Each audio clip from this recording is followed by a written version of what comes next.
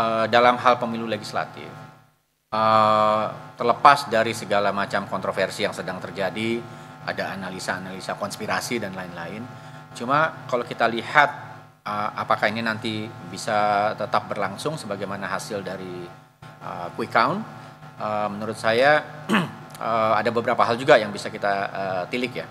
Yang pertama mungkin ini kabar baik buat partai politik sebetulnya bahwa pemilih di Indonesia sekarang uh, sudah bisa memisahkan. Uh, dia suka sama partainya maka dia tetap pilih. Tetapi dalam hal calon presiden dia punya pilihan yang lain gitu. dan kalau kita lihat PDIP itu mungkin itu core-nya PDIP itu 16 persen gitu. uh, Golkar juga sama. Yang naikkan Golkar menurut quick count ya bukan menurut KPU Gerindra juga itu core-nya saya rasa. Uh, yang memilih Pak Prabowo sejak lama dan Pak Gerindra sejak lama.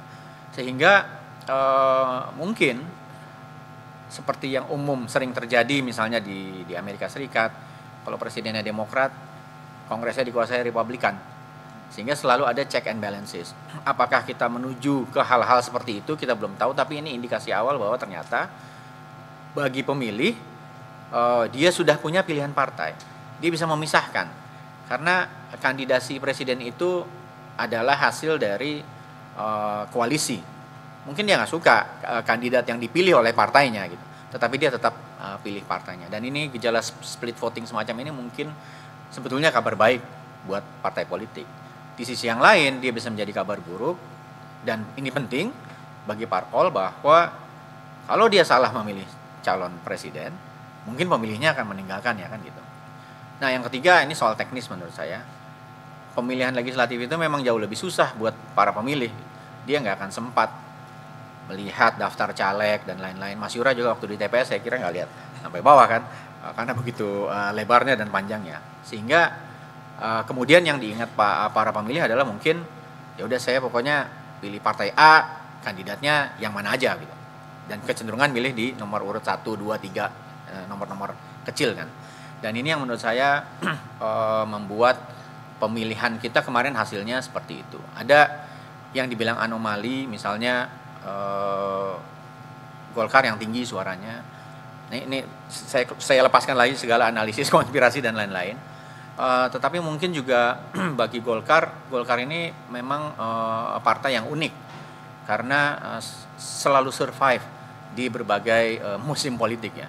Kita ingat tahun 99 di tengah hujatan uh, yang besar terhadap Orde Baru, Golkar termasuk di dalamnya. Tetapi dia juara dua waktu uh, pemilihan tahun 99 gitu. Uh, di tengah hujatan yang luar biasa terhadap Orde Baru. Tahun 2000, 2004 Golkar jadi juara lagi.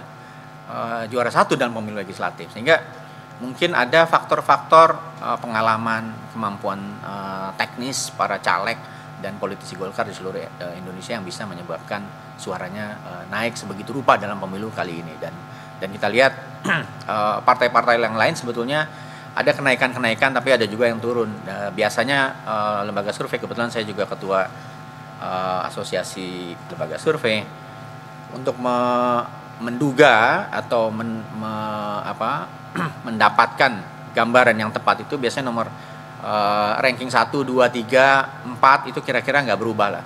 Tetapi udah kelima, 6, 7, 8 itu memang uh, agak susah karena uh, variabelnya terlalu banyak.